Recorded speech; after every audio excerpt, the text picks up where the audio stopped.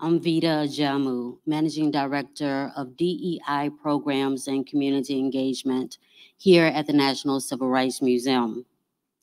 Noted as one of the nation's premier heritage and cultural museums, the National Civil Rights Museum is steadfast in its mission to share the culture and lessons from the American Civil Rights Movement and explore how this significant era continues to shape equality and freedom globally. As we examine the evolution of law enforcement here in the United States, we collectively seek solutions to address America's broken policing practices and reimagine what public safety should look like within our communities. The reckoning the resolve, the restoration, and the resilience. It's a four-part national convening that the National Civil Rights Museum designed to bring together thought leaders, policymakers, surviving families, and activists to examine the historical connections of systemic racial violence and find solutions to address the injustices that have plagued our communities.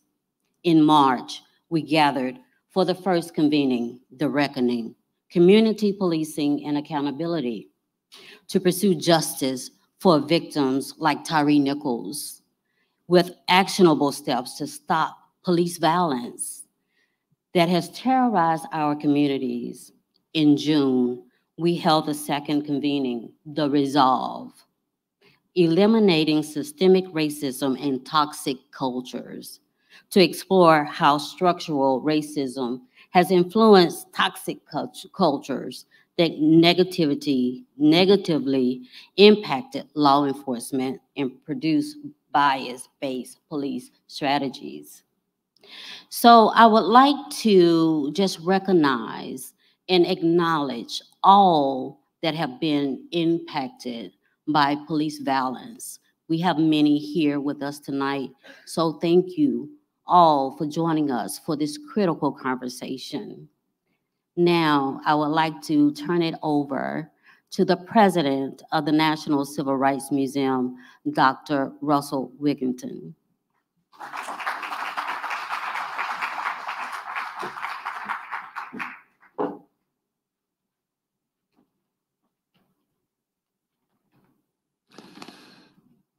Thank you, Vida. And thank you all for attending this evening.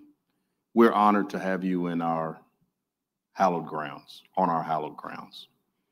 Tonight's conversation, the restoration, community healing for solutions to police violence, is the third gathering of our series of national convenings. Our panel of experts will discuss opportunities for collective healing among victims of police brutality law enforcement, and the communities they serve, as well as collaborative, trauma informed interventions that reduce police violence and improve community police relations. It is now my honor to welcome the panel to come to the stage.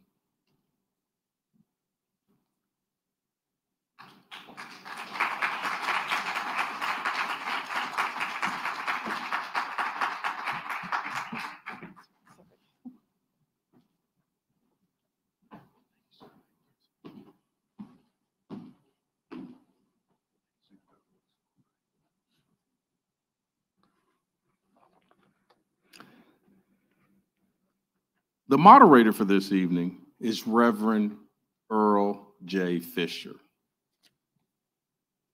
He is a movement and ministerial leader and, the, and a soul stirring scholar at the vanguard of social justice and Black liberation efforts in Memphis and beyond. In 2018, Reverend Fisher earned a Doctor of Philosophy in Communication from the University of Memphis and is currently serving as senior pastor of Abyssinian Baptist Church in Memphis, affectionately referred to as the Blackest Church in Shelby County. As a community organizer, Dr. Fisher, co-organized the Memphis Grassroots Organization Coalition in August of 2015 in response to the brutal, brutal death of Darius Stewart by a Memphis police officer. Spearheading initiatives in criminal justice reform, media accountability, and the removal of federal, of Confederate uh, monuments and voter empowerment. Dr. Fisher formed Up the Vote 901 in 2017 to quote, give more political power to more people, end quote, and to increase voter turnout in Memphis and Shelby County in every election. Dr. Fisher teaches religion and humanities at, at several colleges and universities and is a 2021 inductee in the Martin Luther King College of Ministers and Laity Board of Preachers at Morehouse College. He is a proud member of Alpha Phi uh, Alpha, husband of one wife, Denise, father of one son, Jalen, believer in one God, and a friend and mentor to many. I am delighted to call him one of my friends. Please join me in acknowledging and recognizing our moderator, Earle Fisher. Thank you. Uh, good evening, everybody. Uh, thank you to my dear brother Russ and Sister Tamika, to the entirety of the National Civil Rights Museum staff. I would take time to name all of you, but I don't want to leave anybody out. But can we give it up for the whole National Civil Rights Museum?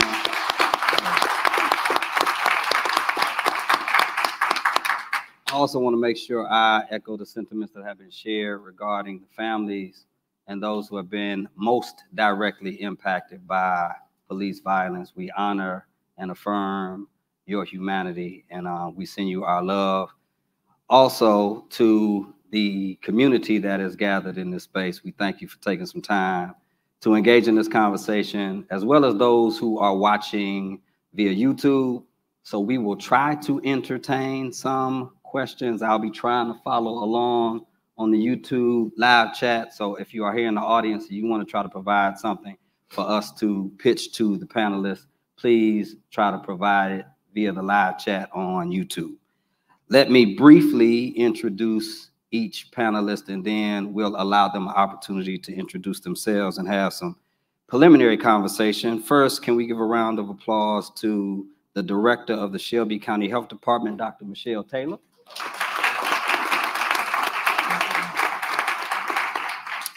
To her left is the psychiatrist and self-care expert. Give it up for Dr. Janet Taylor. To my left is the Senior Vice President of Policy and Community Engagement at the Center for Policing Equity at New York City. Give it up for Eric Cumberbatch. To his left, clinical psychologist and author Dr. Ellen Kirschman. And last but most certainly not least, the former Baltimore Police Department chief and head of the communication, the partnership, and the founder of LOVE, Chief Melvin T. Russell. So I want us to enter this by, you know, acknowledging our entry points or showing our hand. This would be the first part of like three different moves in this conversation. So I would like for everybody, and I'll start with home team, Dr. Michelle Taylor. I want everybody to kind of say where people can find out more about your exhaustive bio and some of your background. Then say a little bit about the work that you do regarding community healing, especially with respect to police violence. And what is it that really fuels your fire and your passion for this work? And try to do it in two minutes. Oh, wow. All right, and I get to go first. Good evening, everyone. Uh, it's so good to see all of you. I know a lot of you all in the audience. I'm Dr. Michelle Taylor. I'm the director of the Shelby County Health Department, and I'll get straight to what fuels my passion because you can find my bio on shelbytnhealth.com. And most of the people in here who are from Memphis probably already know it chapter and verse. We won't talk about why though. So um, I would say that what fuels my passion for this work is equity. Um, we had the opportunity to do a tour together today. And even though I've been in this space so many times because I'm a native Memphian, this was the first time I had done a guided tour. And it left me so full because my parents used to bring me and my brother here way before it was ever a museum. And so, what fuels my passion for this work is the legacy that they and my grandparents and my great grandparents gave me. When Dr. King was assassinated, both my parents were in middle school. And so, when they would bring us here, they would tell us the story of what that night was like and what that time was like and what it felt like and what it what it meant to be a Memphian and what it meant to be an American, frankly, and what it meant to be African American in this space. So, what fuels my passion is making sure that we have equity. We hear a lot about equality because that's really what the civil rights movement has been about thus far. But we're transitioning to what I believe is a need for more equity. Equality is giving everybody the same thing. Equity is giving everybody what they need. What they need. And unfortunately, what we're seeing right now, there are a lot of people wanting to close their ears about what's really needed. So, what does equity look like? It looks like the supports that my children have that have been built over generations over generations are the same supports or additional supports that other children I know need in this community are given, are given freely, are supported across the board, across the political spectrum. And they are done because we want everybody to have an equitable chance, not an equal chance an equitable chance of living a thriving, healthy, and productive life. That's what fuels my passion. Thank you. I'll echo what Dr. Taylor said about just being here. And every time I come to the National Civil Rights Museum, I'm, I'm just filled with the spirit of the folks who died and also the legacy of those coming on and a special acknowledgement to the families being here. Your courage does not go unnoticed, and neither does your trauma. Um, I have a website, drjanettaylor.com, if you want to read more about me. But this is not about me, it's about all of you. And really, what fuels my passion for what I do is the recognition that um, our brain is our biggest ally during this time.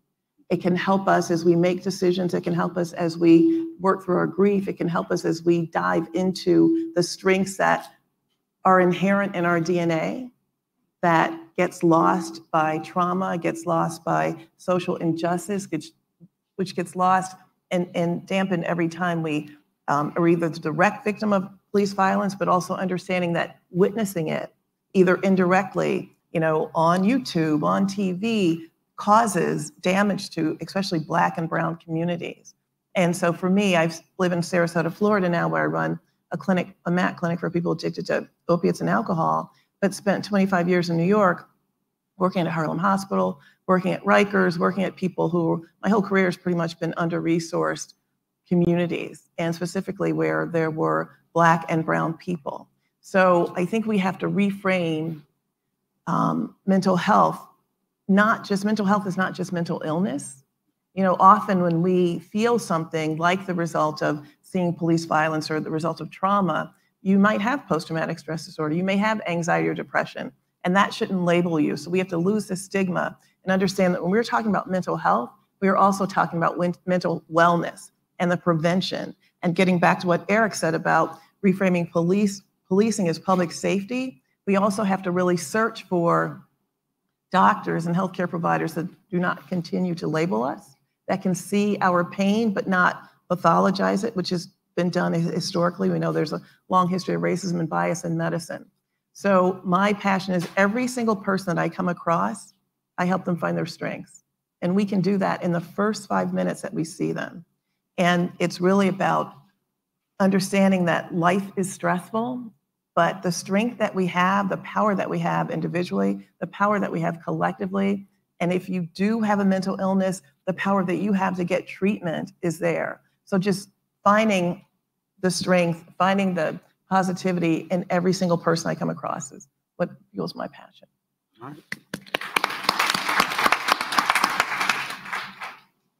I think everything you said, you took it away, but I, I would just add to it and give. I'm passionate because I recognize and realize that I am my ancestors' dream. And that's why I'm here. And when I look into an audience like this, I see myself. I see myself reflected. I see the same experiences that people have endured generation after generation after generation. I've been in spaces like this since I was a child with my great grandparents, my grandparents, my parents, uncles, aunts, and others who have these same discussions generation after generation. So, my passion is I know we have the brilliance, the wisdom, the resiliency to create change.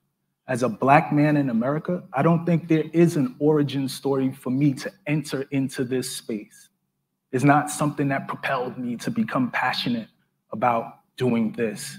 This is who I am. I tell my son, I was born in war. This is who I am. I'm born in war. So I have two choices. Either I'm going to fight or I'm going to lay down. And I'm not laying down. And what that fight looks like is very different on multiple levels. And for me, I chose this level. I chose the level of empowering people that look like me, empowering people that come from the same communities as me, and lifting us up into spaces where we're actually seeking legislative reform. We're actually creating the change that we want to see. We're no longer asking people to do something for us, but we're the doers. We put ourselves in positions of power and we create the change that we want to see. Those brothers and sisters that are, are closest to, to the issues that we're talking about tonight, those are the leaders. Those are the people we need to empower and put in positions to make change. And that's why I'm here. So thank you all.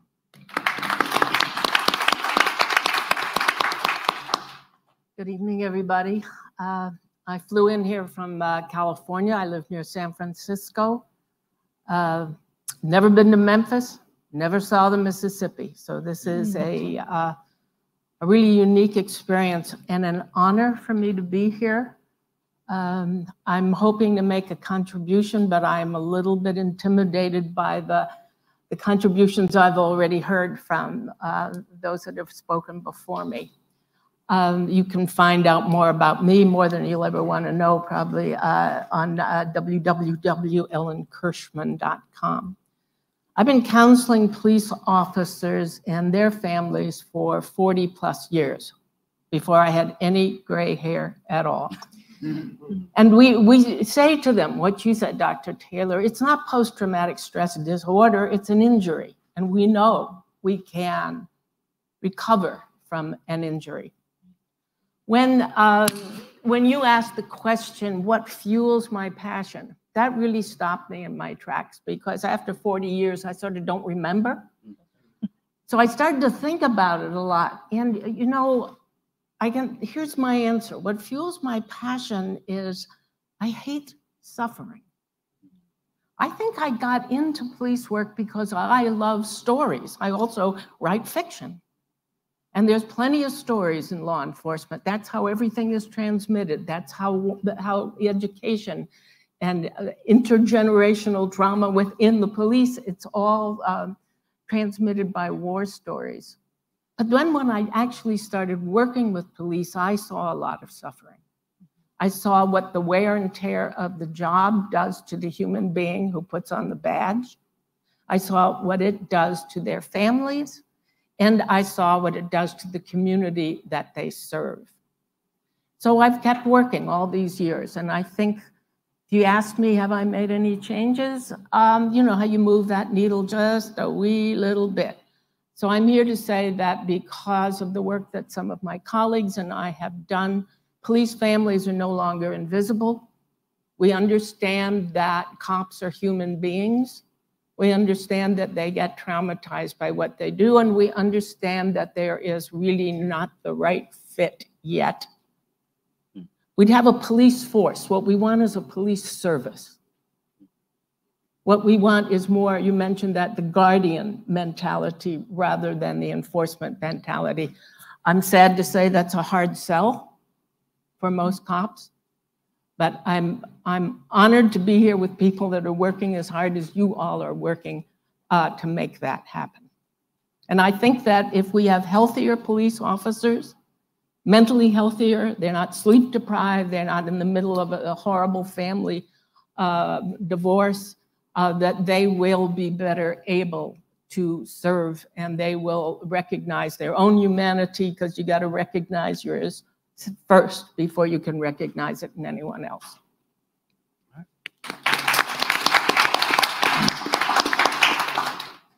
So I'm looking at my watch because I want to do it just as well as my panelists in that two minutes there. so um, I am honored and I am humbled to be here amongst this great cloud of witnesses, all of you, um, this incredible esteemed panelists.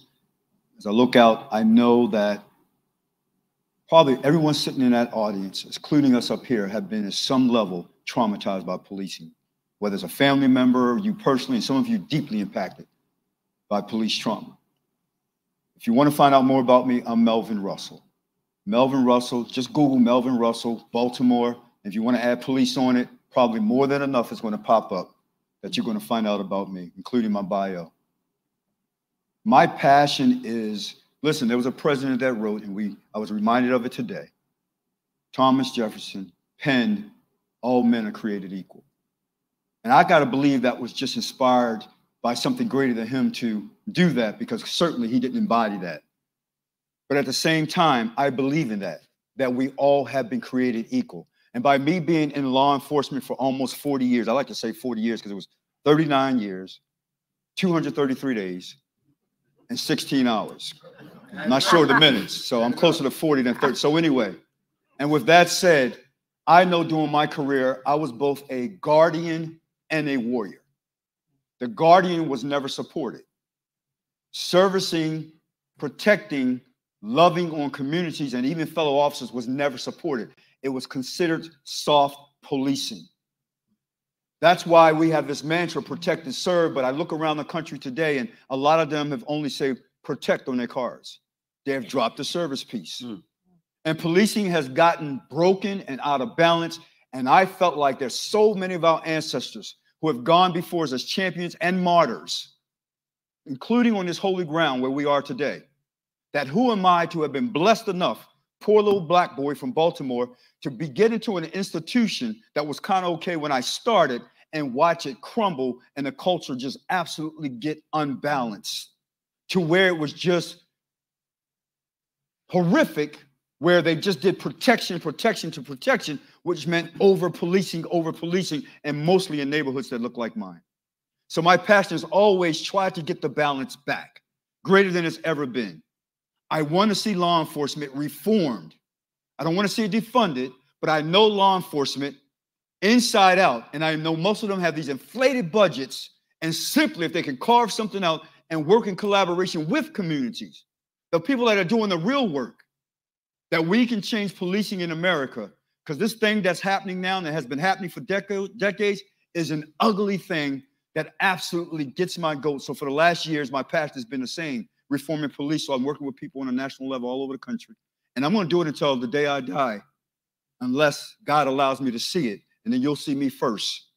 World News congratulating all the communities across this country and the police that finally got it right because we got to get this right. No more Tyre Nichols. God bless you.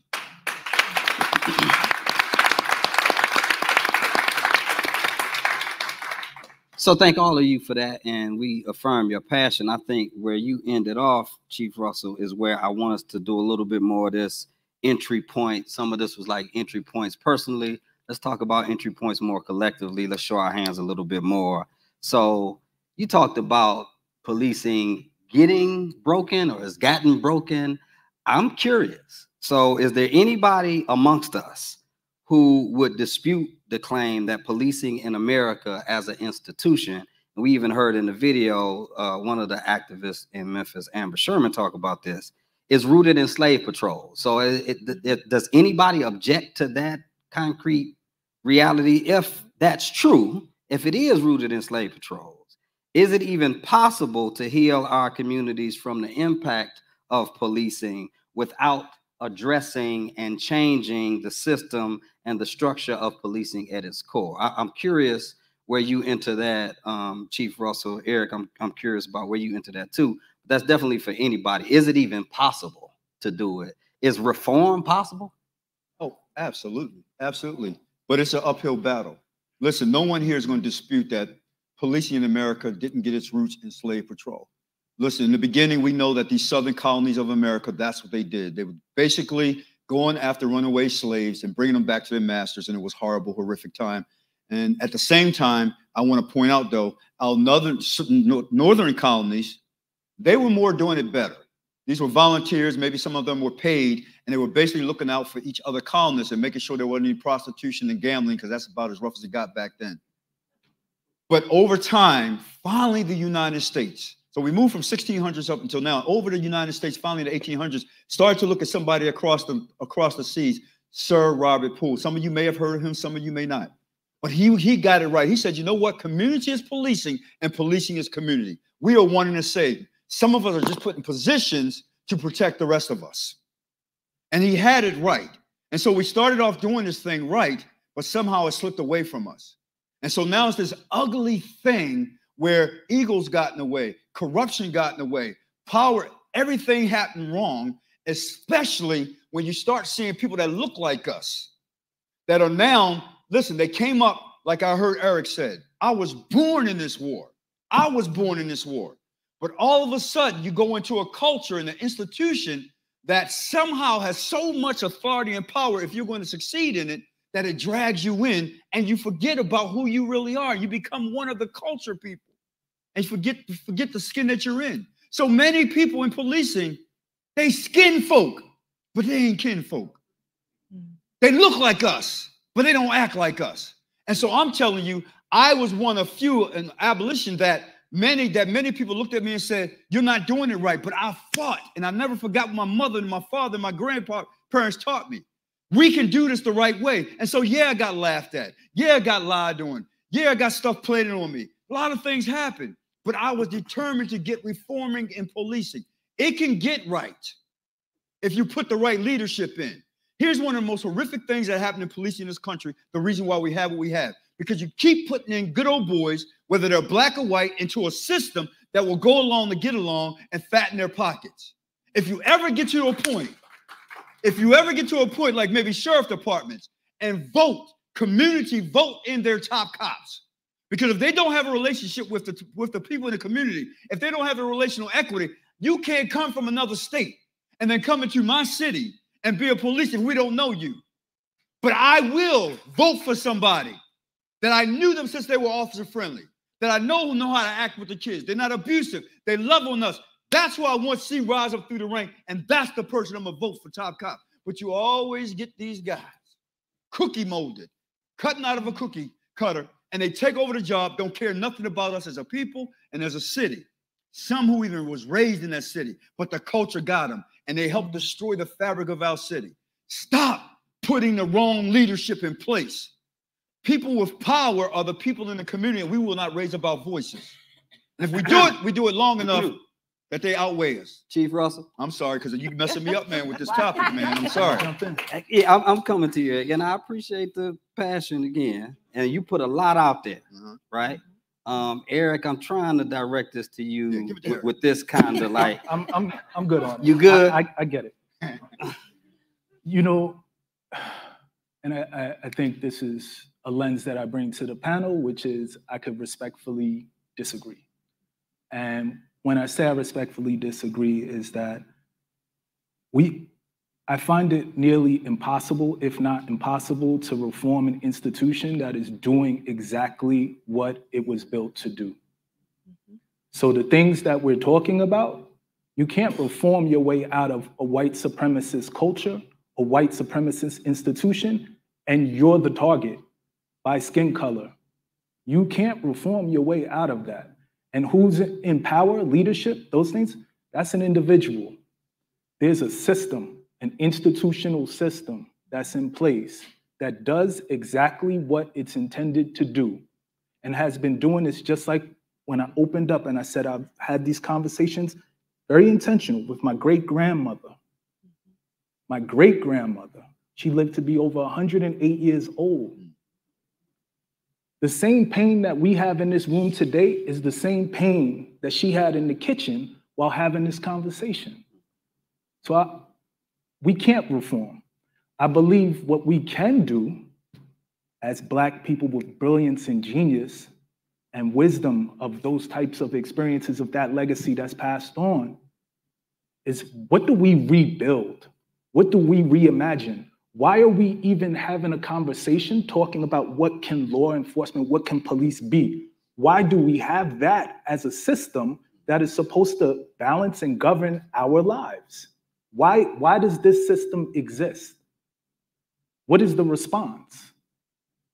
What, is the, what are the, the proactive measures and means that we can be undertaking so that there is no engagement with law enforcement? And I'm not an abolitionist. I believe there is a role for police. But when you have police that are involved in every segment of your life, whether it's traffic, whether it's sexual or, or, or, or gender affirming care and rights, whether it's education, whether it's immigration, every aspect in your life, the response from government, the option that government has given you is police. If you walk out this door right now and have a, a mental health episode, it's police. So, when do we democratize public safety? And that's the real thing that has to happen. When do we democratize public safety and ex expound and expand the definition that police do not own public safety and that there are several institutions that exist that are just as powerful in creating healthy outcomes, better outcomes, and stopping the killing of us. We have to get to that space of being bold and radical. And if we're not willing to be bold and radical, then we're going to just create the same system over and over again, a system that is doing what it's been intended to do. So, so Eric, I think you're talking about what I want the second phase of this conversation to be about, which is assessing the impact of policing. So first we showed our hands, so now let's share our hearts. And I think Dr. Janet Taylor, you were just about to jump in. I want to pitch this to you this way.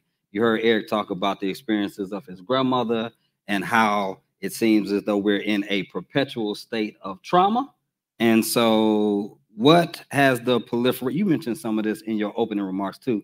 So, the proliferation of police involved shootings, especially it being looped over in the media over and over again. What has it done to the mental health of our community, and what is it doing to police and civilian relations? Or how do we manage or mitigate that trauma? So, in our communities, um, police violence, trauma is literally destroying the mental health of our young girls, because often young girls and women are left out of this conversation. Um, and at higher rates, um, it makes, you know, young girls a lot of times will internalize they may get depressed and anxious instead of acting out as, as some young men will do, but they still are as traumatized. Dr. David Williams from Harvard has done, among others, has done a lot of studies that shows that in a community, when a black unarmed man or woman or brown unarmed man or woman is killed, that the number of days that people have to take off of work because of stress and anxiety is increased, um, depression, um, feeling helpless, feeling hopeless, and the whites who are in that same community are unaffected. So there's no question we know when you look at mortality rates of Black people being lower and the impact of the stress of racism and, and weathering, that it has a significant impact. And so, what I was struck by with what Eric was talking about is the fact that if we're really going to do something dramatic, I agree, reform is not possible. We have to blow it up. Why do we have to police with guns? Why do we have to police with guns? Because whether you're a black officer or a brown officer or a white officer, to the brain, black skin is a weapon. That's right. And we know that. we know it's a weapon. And so, and that's across the board. So I've lived in Canada, where when I moved to Vancouver, Canada, there were two murders that year. My daughter recently moved to London, where the police officers don't carry guns at all, unless they have to go in for something, you know, some SWAT terrorist thing. Why do police officers need guns? 70% of people who are incarcerated are in for nonviolent offenses. Even, and, and even higher rates, if you look at jails and prisons, people have mental illness. right. So I think if we're going to talk about rebuilding, then we have to look at that. And, and I know that there are ways to um, de-escalate situations. I know that there are ways to stop somebody from a, with a traffic stop, or if you have to police them that don't involve a weapon, and we don't need it. So I, I think, I mean, I have a lot of respect for police officers. Um, no disrespect there, but I think if we're going to do something totally different and radical, then we need to look at how we keep public safety in a way that does not endanger Black men and brown men and women. And as long as our skin is Black, we're endangered. So to counter that, and since we're talking about a restoration, it's not, I don't want anyone in here to walk out feeling worse, but there is a reality. And the restoration comes from within. And, you know, as a psychiatrist, I'm limited. I'm not a pastor. Um, and I'm limited in what I can cer- certainly preach about how we need to feel about ourselves. But our suffering, um, there's always an option to suffering, no matter how bad you feel. And so it is about being able to um, realize how you got over, how you made it through, even getting here tonight, those little things that we really need to do to focus on our mental health and self care, especially during these times. It's about connection, understanding you're not alone. And that is, and love, which I think is the biggest counterbalance to everything happening in, in our communities. So look around and those times you feel isolated, you think about every single person here who came to hear this panel, who's been to the other sessions, who cares about you. And if you need help with your mental health, get it. Dr. Taylor, I'm sure, can talk about resources. Vita passed out a sheet about resources, but taking care of ourselves mentally is, is so critical during this time. So, so Dr. Michelle Taylor, I'm coming to you, but I want to say, number one, as a matter of housekeeping, somebody's gonna have to fix the timer in the front because I don't know how much time we have left, and I can talk, it, there's a lot that's on the table. Yes. And I know we don't have all night, but I do, I want to push this a little bit. I don't want us to pitch something that feels overly idealistic Mm. or naive or utopian. Right. Uh, part of the reason officers have guns is because there's a plethora of guns around. This ain't Canada. Right. This ain't London. I know. Right, right, and, and I want us to follow up on some of the nuances, right? Like I, because I definitely definitely agree that we need to find alternative ways of policing, especially that's much more sensitive to the mental health piece. Dr. Michelle Taylor, what I think you can help us with is people talk about violence and gun violence in particular as a public health crisis. And so clearly there are some things that we can do from a public policy standpoint, maybe Absolutely. in terms of our approach to it. And I want to know, like, how how do we factor in police violence within this framework? Because when people talk about gun violence, they don't tend to center or at least account for the police violence and the traumatic impact that Dr. Janet Taylor talked about. So can you share some insights insofar as that? Absolutely. So um, the people in the crowd who have heard me talk before, they know that I rarely use the term gun violence when I'm talking about violence in Memphis, Tennessee, and Shelby County. I usually say community violence because there are all forms of violence, and that includes police violence, unfortunately. And so, um, my first disciplinary love is pediatrics. So, I was a pediatrician first in my career. And I often remind people that um, before somebody was holding a gun, whether they're a police officer or on the other end of a gun and they're not a police officer, um, they were a child. And they had all kinds of experiences that affected them. The discipline of epigenetics means how does the social get under your skin? Mm. And we know uh, that epigenetics can change the way your genes are expressed. Don't want to get too scientific, but what does that mean in layman's terms? It means that if you are exposed to too much violence in any of its forms, once or a hundred times, it can change the way you learn. It can change the way you think. It can change the way you react to a certain situation. And if you've got two people there, a police officer who is afraid of the skin color of the person, and the person who is scared of this police officer because of police violence that they've either witnessed themselves or heard about from generations of parents, grandparents, great grandparents, especially living in this community, then that affects what's going to happen in that situation. So, when I sat down with my team to get ready for this panel, we went back and forth. We had a great discussion. And one of the ways I was able to explain it was this.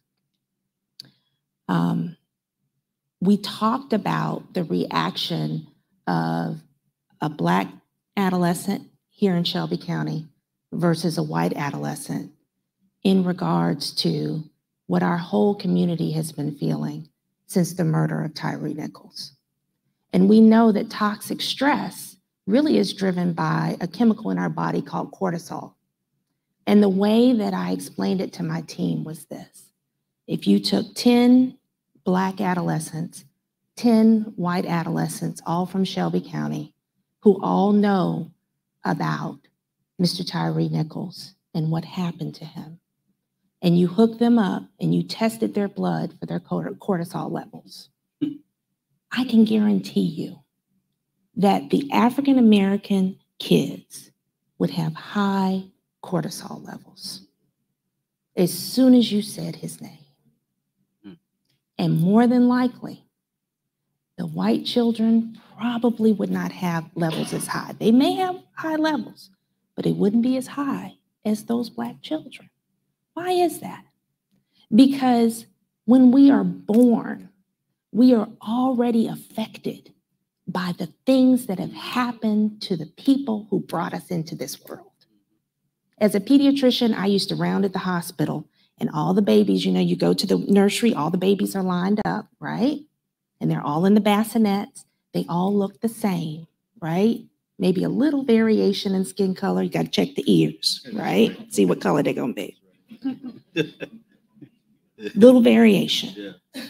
But as a pediatrician, even then, I knew that I could tell the difference when I went to their chart and I saw where their parents were going to take them home to. I already had an inkling of what kind of experiences they were going to have just based on the neighborhood they were going to. I already knew that life expectancy, which we predict at birth, not when you get halfway through, at birth, when you're in that bassinet, as public health professionals, we predicted at birth. Life expectancy is different by at least nine years between African Americans and white folks here in Shelby County. And in some neighborhoods, the difference is 20 years. 20 years. What else do we know?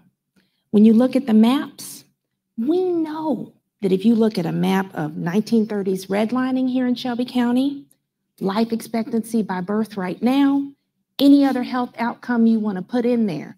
Put COVID in there, put heart disease in there, put cancer in there, put any number of things on that map. It's going to look just like that redlining map. Same.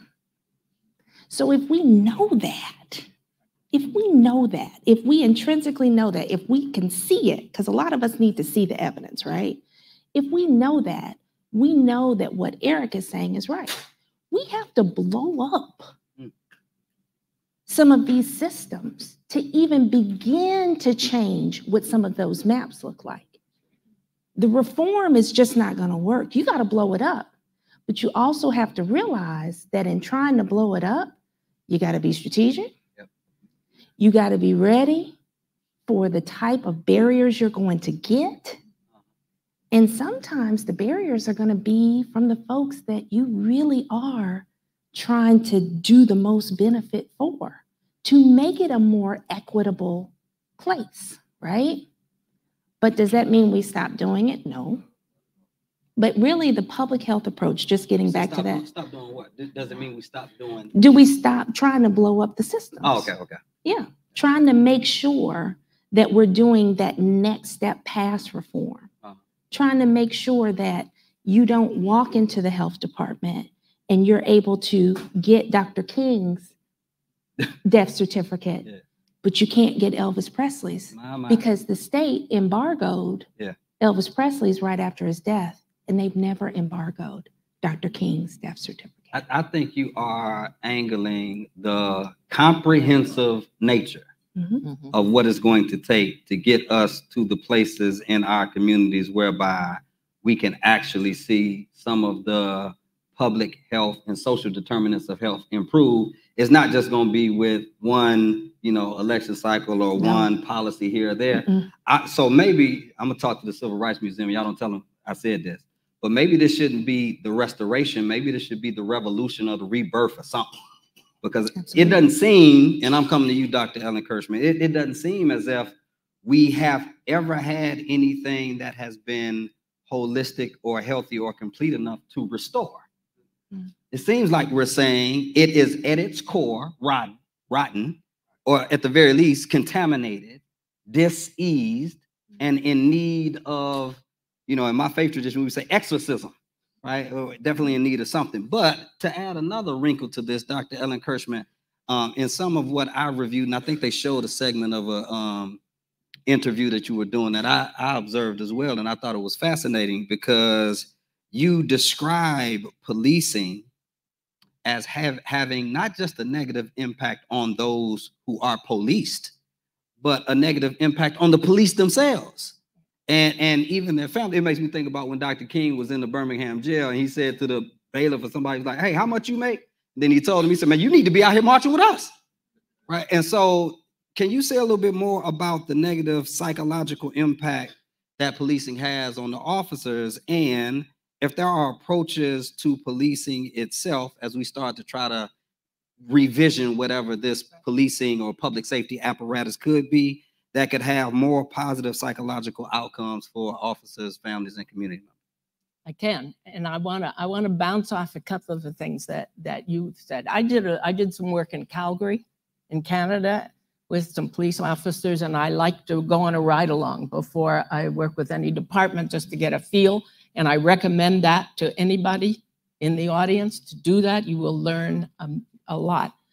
And uh, they walked and the two officers walked into a crowd of people, and they were sort of, there was kind of raucous, some drinking. They were uh, First Nation people, which meant they had brown skin.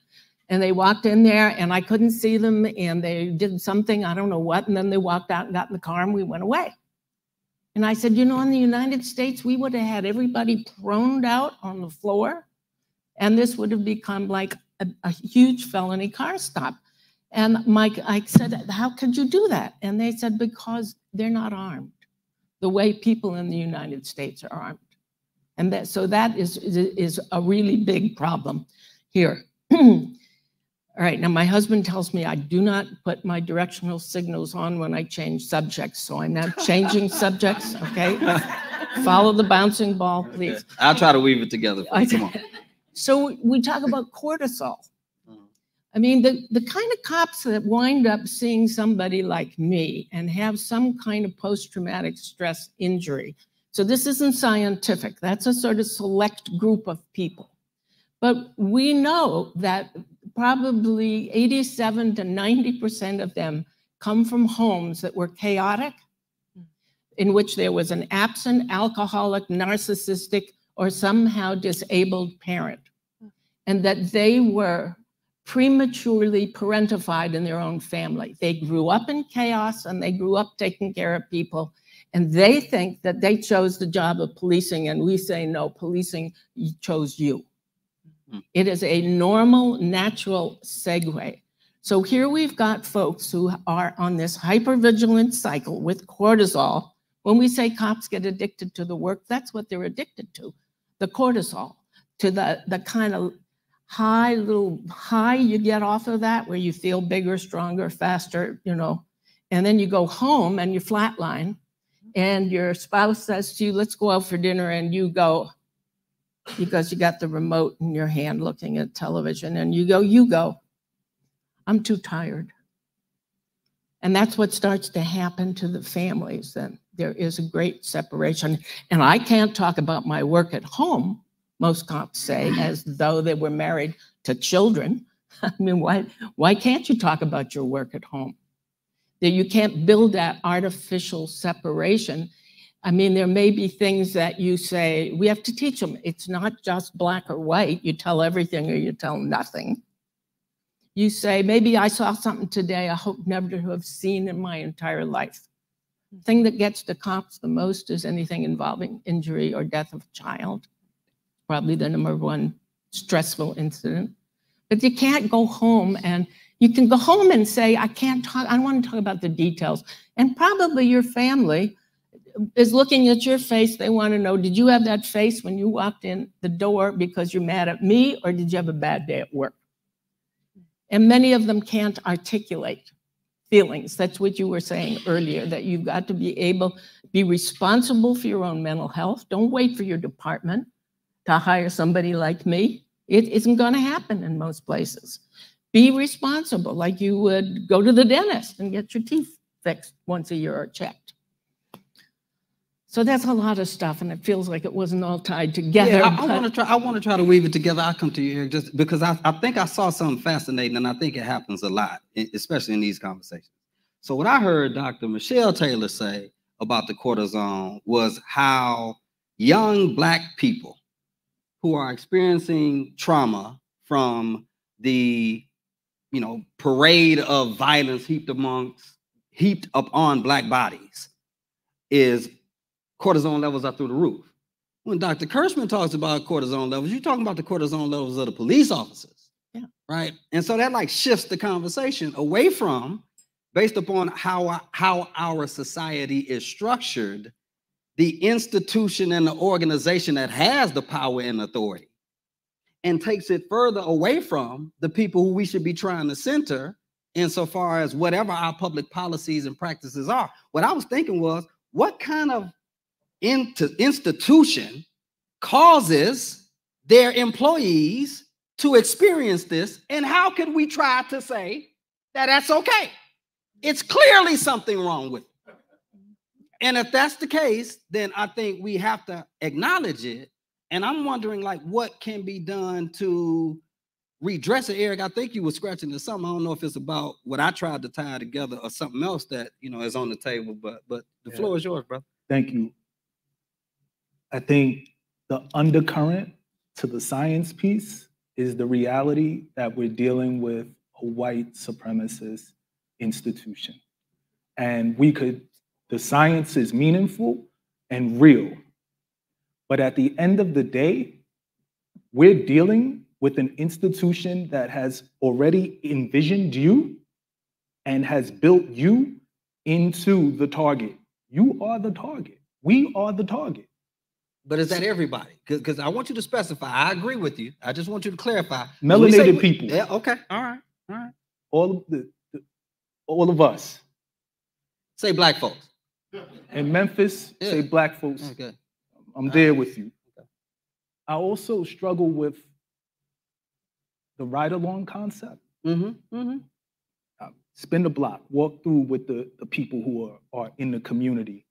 And then you'll start to get to all of the institutional, societal, community, individual levels that have an impact on people's lives.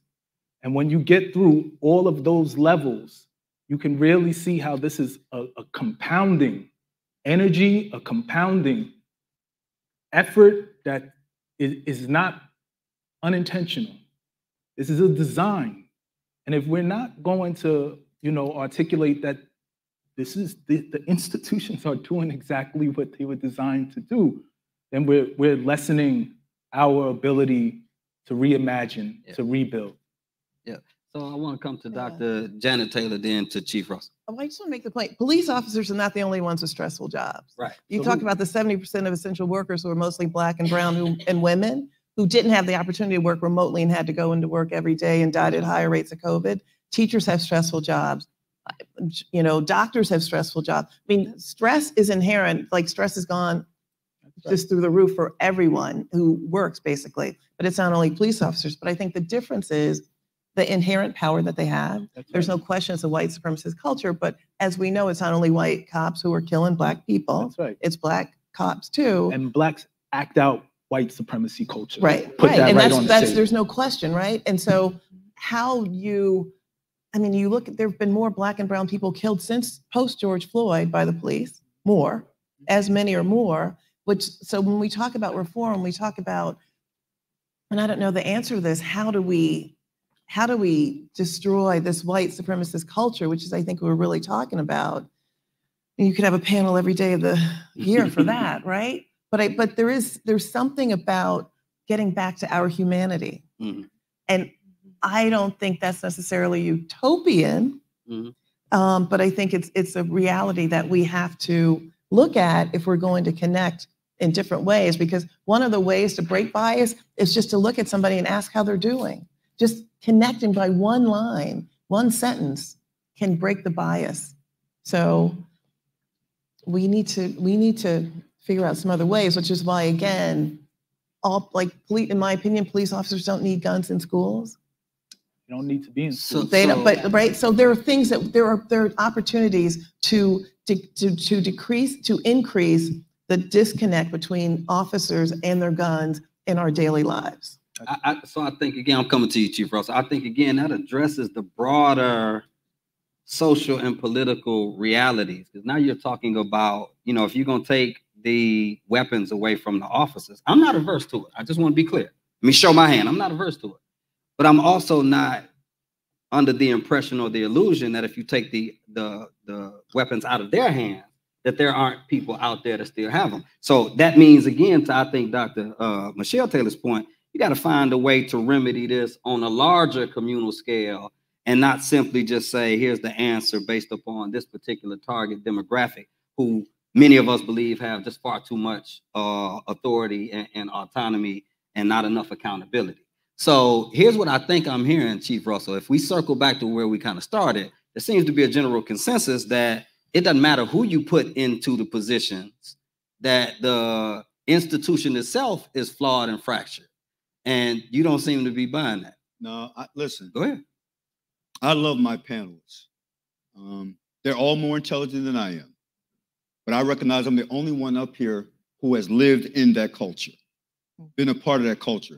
So I want to speak to restoration, which do I believe, and I love my brother um, Eric, we're going to do some work together.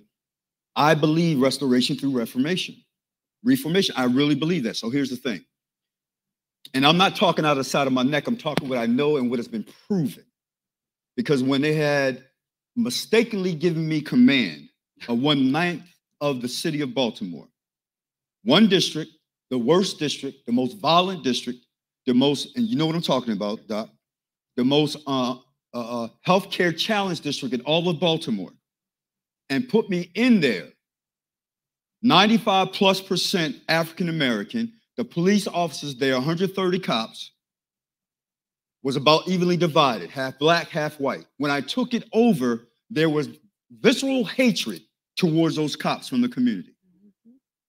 The community didn't like the police, the police didn't like the community. I spied on them before I actually put in some things in place. And I will watch my police officers drive through the community, cursing out my black community members, especially the young ones, on their PA systems instead of getting out of their cars. We know police don't like to get out of their cars, saying, Get off the corners, you little ninjas. I'm being polite. Mhm. So I watched it and I sat back and I studied it and analyzed it. And I said, something's got to break. So then I realized I've got to change the culture because be mindful. 20 years prior to that, I was in that district as a sergeant and a lieutenant. I disappeared in the world of undercover narcotics. So I didn't see what was going on at a level with community policing. I grew up in community policing. When I came back, it was no more. Young people hated us. Young people didn't even know me, saw me in uniform, and cursed me out. And I was baffled. And I said, I've got to change this culture. One leader changed the culture in this district. And I put things in place. I collaborated because I knew I couldn't do it by myself. So I collaborated with John Hopkins Hospital. I collaborated, collaborated with Department of Mental Health. I collaborated with the churches. I collaborated with anything that moved from the businesses to anything that moved the school, the education system said, this can't be just my problem to fix. It is all of our problem. Chief Russell. But oh, p- please, Pastor, I got to get this out. Yeah, go, go ahead, go ahead. I'm, I'm Okay. And go ahead. so, and so what I did is, because I heard Eric said, I can't believe riding along does anything. I then began to put pastors in the car with my worst cops. I had rednecks in my police department. Rednecks who came from the hills of West Virginia, never seen black people until they got hired by Baltimore Police Department. I put them in the car with these people because I read a book a long time ago, 21 Days Will Make a Habit. And I kept them in the car and kept them in the car. And little, little by little, and because I led by example, I can't go through everything. Little by little, my officers began to change and transform and began to treat the community properly. The community, I begged them, come in and feed my officers every month. Sit down with them, edify them. We can't stand your police. Why would we do that? Because you can help me make them better cops. And I can't go through everything we did, but I will tell you this as a final thing. Within six months, my police district became the best district in the entire city. We went to a 40 year crime low and came into a love fest. Black, white communities, everybody loving on each other, love fest. And it stayed that way until I left four and a half years later. so, the so- lowest crime. so- So, so it it was get- reformed. well, maybe. Oh, ain't no maybe. I got proof. no, I got it. And, and here's why, and here's why I say that. Here's why I say that, right? Um, shouldn't reform last past the reformer? It, sh- it should because listen. But, but so so hold on. Okay, Hold on. all So- right, So, all a couple right. of things, just in, in the two minutes that we have before we start doing some Q and A stuff. One is there are exceptions to the rule. Okay. So so let's just say Okay. I affirmed everything you just said about what you were able to accomplish in Baltimore. Mhm. Kudos, salute, ashe. The question would become: so that's one department, and then Freddie Gray was killed in Baltimore. Mhm. You were you know you were prominent in Mhm. some of those exchanges, Mhm. right? Mhm. Like so, I mean, there there are ways to look at this and say there are anomalies, there are unicorns, there are things that happen, but that shouldn't be the standard. Like that that that, that to me is an unrealistic expectation. I think what I'm hearing the panelists say more collectively is that there has to be some comprehensive approach that revitalizes the understanding of public safety beyond what we have. Dr. Kirschman has already said basically the toxicity of the job does harm not just to the people who are being policed, but to the officers themselves. I'm not throwing any shade at the wonderful things that you've been able to do, but how many Chief Russells are there? And and how many? There's one that could be more. That's yeah, and you can And I'm throw gonna tell a- you how. yes, and you can throw a starfish back into the seashore, Mhm. and there are thousands of them. But at some point, you need to do something about climate change because the winds are too high. Let me speak The to you. waves, there's too many. There, there's too many of them, right? And, and so I just, this is what I was thinking, Dr. Taylor, when Please I let said me follow something. up I, I will in my 30 seconds or, or 15. And let me digress because I forgot I was a moderator.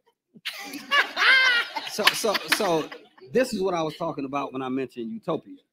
It is the idea that these, you know, isolated or independent occurrences that we might find some hope and some joy and some promise in, they are exceptions and not the rule. Mm-hmm. So when Stokely said, to your point, Eric, he said, they said, was he scared to go to jail? And he said, I'm a black man in America. I was born in jail. Like if, if that's the landscape, I think we have to do something different insofar as a more collective and comprehensive approach. I'll give you and, and, and the rest I'll, I'll of the do panelists. 30 seconds. So, so what I was doing was never supported. Matter of fact, it was. That's not No, no, ironic no, here's what? I'm telling you. Here's what I'm telling you.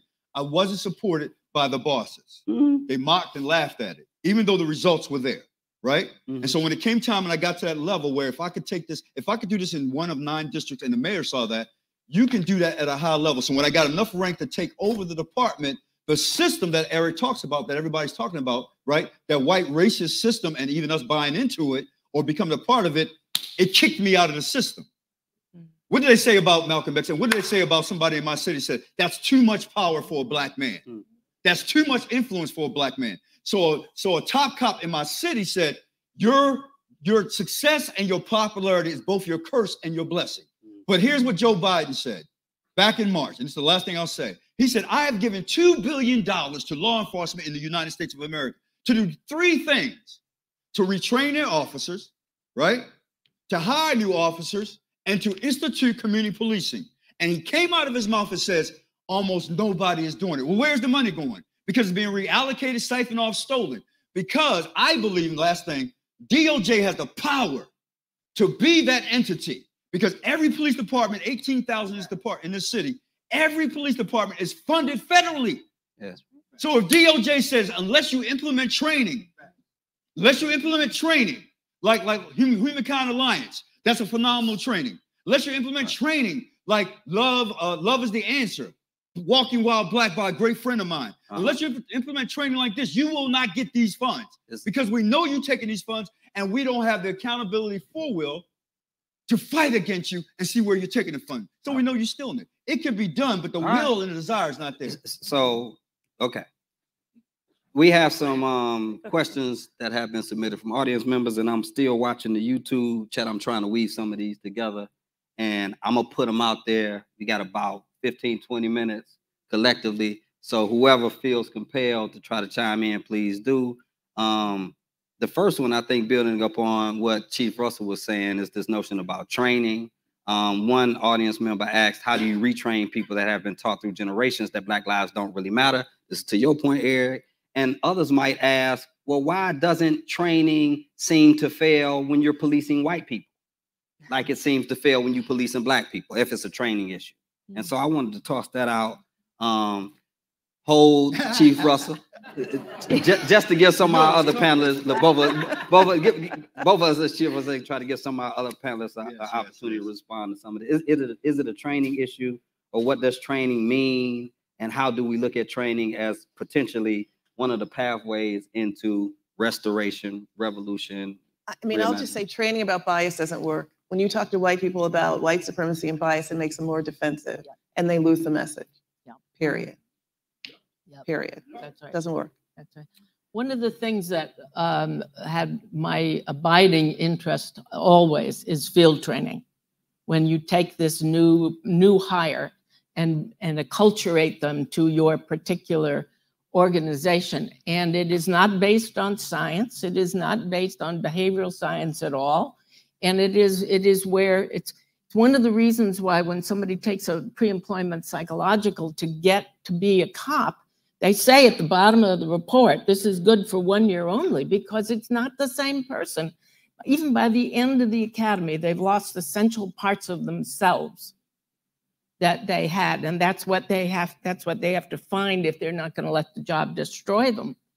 So uh, training is very important, but it isn't, it isn't based on anything that I, it, it has no Velcro. Right. Mhm. Correct. Right. You can't train someone to view you as a human. You can't train that. And that's what we're missing here. You could you could do field, I, I don't know, police jargon, tactical training, those types of things. You know, what's the process and procedure during an interaction? But if I'm if I'm not seen as a human, if I don't have the dignity, you could you can't train that. So at the end of the day, that interaction is always going to be adverse and negative for people of color. You can't train that. Can you implement, and you could, you could comment, on Dr. Taylor, you got anything you want to add to that? A little bit, but I, I want to hear what.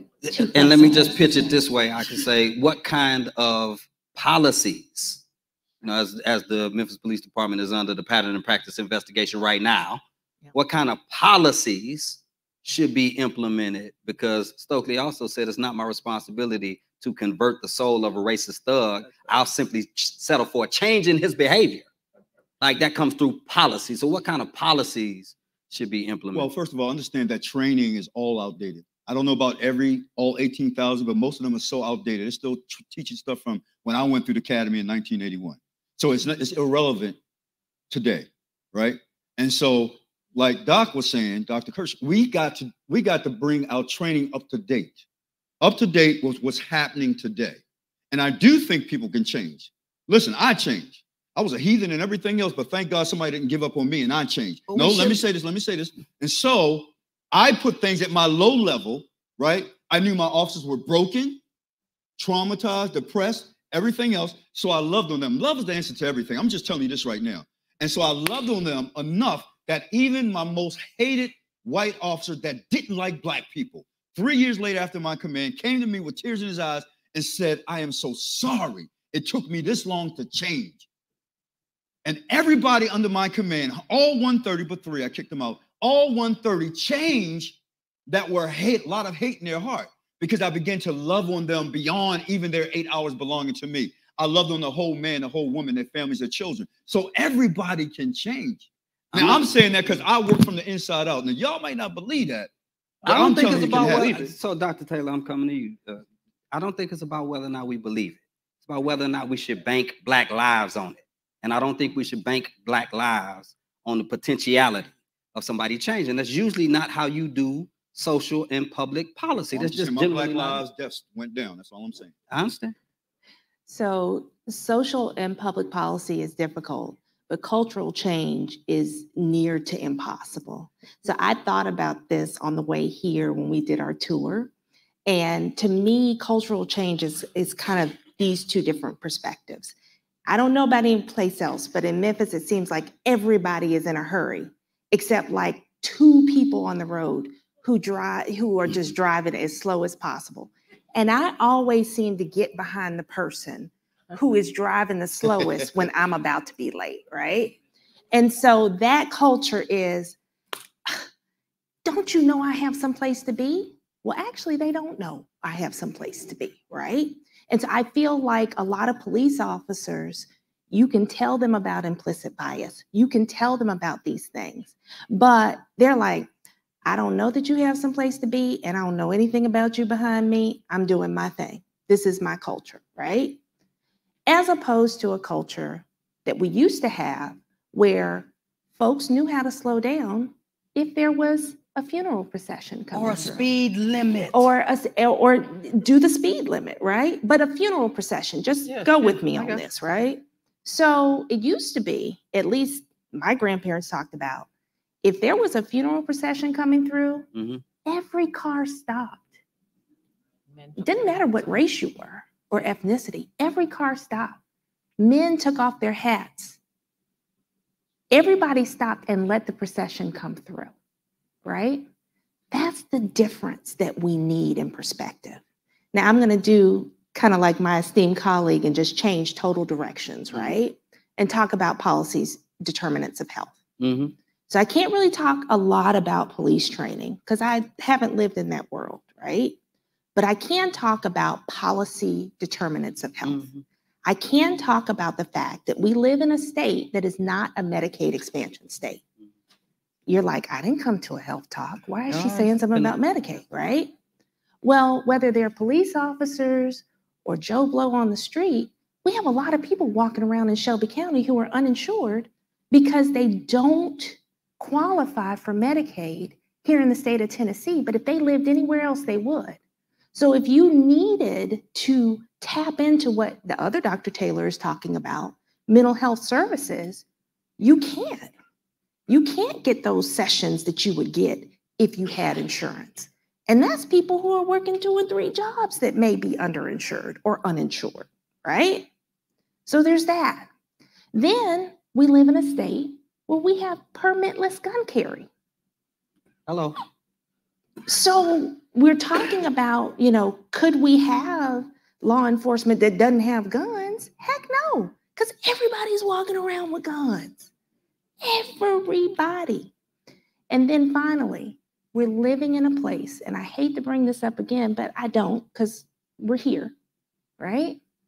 We're living in a place where the history of law enforcement and the history of Black people is such that if we don't start to recognize that and recognize that it informs everything that we're doing now, then we're just still at the beginning, right?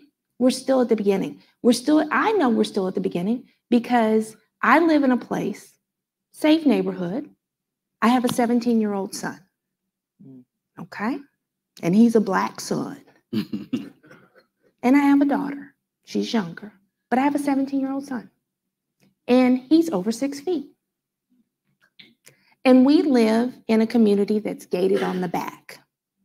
And about six months ago, we had some black teenagers jump the fence in the back and they were running back and forth at two, three o'clock in the morning.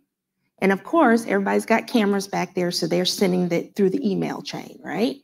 So now, if I want to send my son out to walk the dog at the dog park at the end of our subdivision, I'm looking outside to make sure that it's not dark when he does it.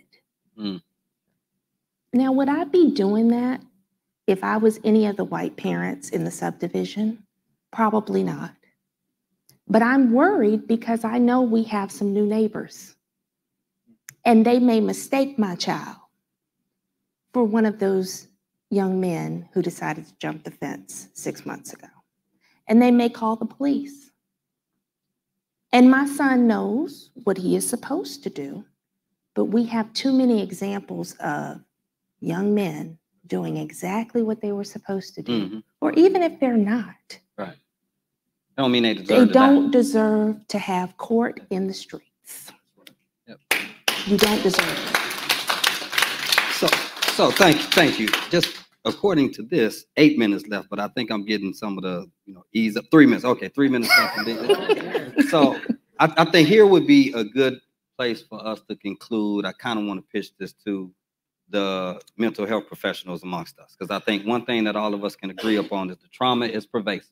Mm-hmm. And so if I'm trying to push a concrete, policy-oriented solution here, can we require therapy for officers once a month? I, I made this proposal here in Memphis, you know, fell on deaf ears, but you know, and, and maybe everybody can speak to this and do your closing comments, everybody in a minute or less. You know, so can we, how do you feel about required therapy once per month for every officer? There are actually funds, there's the law enforcement, what's the LEAP program? Law enforcement, something program in South Carolina Assistance. assistance program that actually started a um they, the the state agreed to be taxed the citizens in the state agreed to be taxed so that there would be a fund available to pay for mental health services once per month and i argue if you fire your service weapon it should be increased to more than once a month things of that nature so are there policies that we can implement uh, along those lines Uh, I think once a month is too often. Um, what uh, what has been successful thus far is once a year, mandatory, chief on down. And the other side of that, though, is we've got to have culturally competent clinicians who understand what cops do and why they do it who understand that when you're talking to a cop, you've got to be a lot more transparent than you were, the way we were trained when we, when we, in counseling, where you don't answer any questions and you've got the neutral screen face. Doesn't work with cops. You got to be able to listen to hard stories. You got to be able to laugh. You got to be able to be very directive. So we don't have enough of those people. I'm part of a group of uh, senior psychologists who are mentoring um, early career psychologists of color who want to work with the police. And I'm sad to say that most of them want to do pre-employment screening because that's where the money is. Not the kind of interventions that we're talking about here, where you intervene perhaps with an organization or you are working on the mental health of the officer and their families. I, I would say, I think all of us need therapy, right? Because yeah no, every, I mean, every single one of us has had some sort of trauma in our lives, right? And, but I think for police officers, I think it's more restorative justice that needs to happen weekly and, or monthly, or however often that, I mean, because you really, I I mean, only a police, op- I mean, a court can mandate therapy for anyone, but that looks at the harms that are done on both sides in a way that is ongoing and builds community. Much, and that's why, I mean, I really think that what you did, Chief Russell, was, could be replicated in many ways because it brings in all the multi-determinants, the pastor, the familiarity, the love, all of those factors, which are things that could happen if there's restorative justice. And, and that, that doesn't, because sometimes with therapy, when you mandate therapy, it's still, you make the other person feel like they're wrong. But the reality is if we're going to solve this, we're all in this together. So I think a restorative justice approach would be one that I would encourage. I'm 10, just sec- 10 seconds eric 10 seconds So I would say advocate for policies that reduce the footprint of police. And we know that when we do things further upstream, there's no need to have police downstream because we're not seeing the same outcomes. So advocate for policies where you don't need police in schools. Advocate for policies where you don't need police responding to a mental health crisis. That's right. Advocate for policies where you don't need a badge and a gun when someone could have been given a car ticket and all you needed was a pen and a pad to give them that ticket. So policies that right now act as alternatives to law enforcement, that's what we should be advocating for collectively. Also look at budgets. The budget doesn't lie. And you have police, law enforcement agencies, police departments always leading the city's budget in terms of funding. And we already know that if we invested in the schools, if we invested in communities of care, if we invested in the community centers, street outreach workers, crisis mobilization units, all of these things, we would not have this over reliance on a harmful institution. All right, we got so much more we want to talk about. Y'all give it up for the panel and let's welcome back President Russ Wigginton.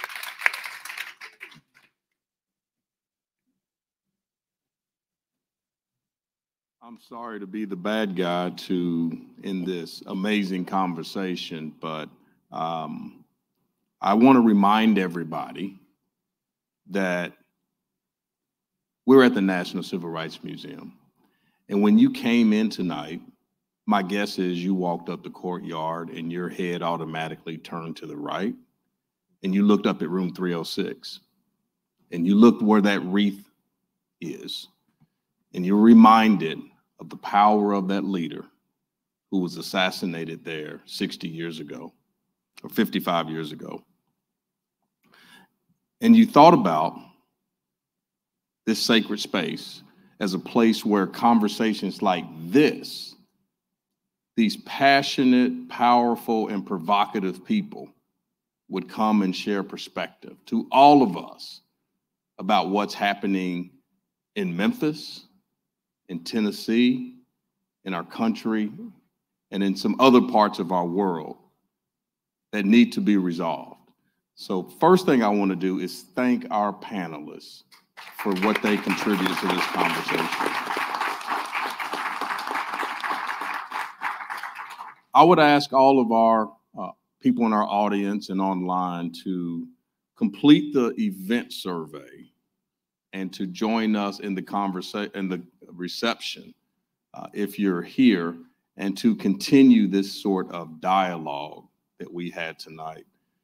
I also want to make sure to uh, acknowledge, I noticed that uh, our, our, our Wells family came in, and I'm saying our Wells family came in because we are in community with them. They are our people, and we love them here at the National Civil Rights Museum. Thank you.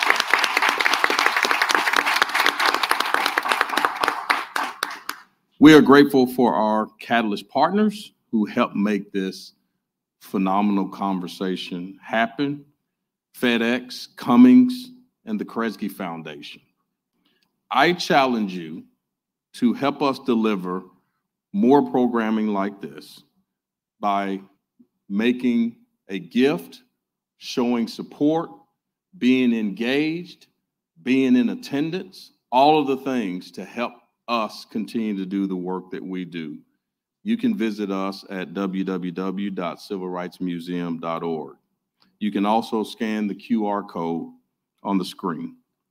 Thank you for all you do to make sure that the National Civil Rights Museum honors the legacy of Dr. King and, and make sure that dignity and civil, civil and human rights is at the core of what we do because part of what I heard in this entire brilliant body is if we don't love, if we don't respect, and if we don't treat everybody with dignity, it's going to be hard to generate any kind of formula to help us get where we need to go.